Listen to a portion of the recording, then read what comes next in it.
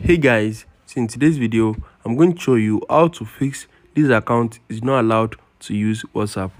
So if you are getting this error message on your whatsapp account that means you have violated one of their rule. So you might be spamming so you might be spamming people contact on whatsapp or you are just sending a lot of message to people on whatsapp. That's why they banned your number. But in this video i'm going to show you how to fix that the first thing you need to do is head over to your browser and search for whatsapp contacts. Once you search for whatsapp contacts you need to click on contact whatsapp link right here. So make sure you do not click on the contact us. Just click on contact whatsapp. And you need to select if you are using whatsapp messenger or business whatsapp. So i am using whatsapp messenger but if you are using whatsapp business you need to click on contact for business whatsapp so i'm just going to select the one for whatsapp messenger.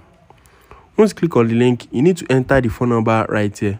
So you need to pick the country code and you need to enter the number. After that input your email address right here and you need to confirm your email address. Once you confirm your email address you need to select the device that you are using.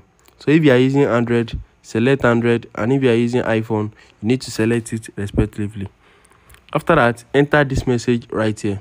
So you can just copy this message and input it in your own or just rephrase this message and rewrite it in your own way.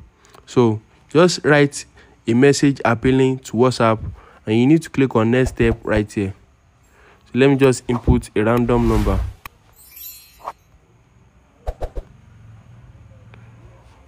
Just click on next step. Once you input all the information so and you need to click on send question. Once you click on send question they are going to review your message and they are going to get back to you within 24 hours.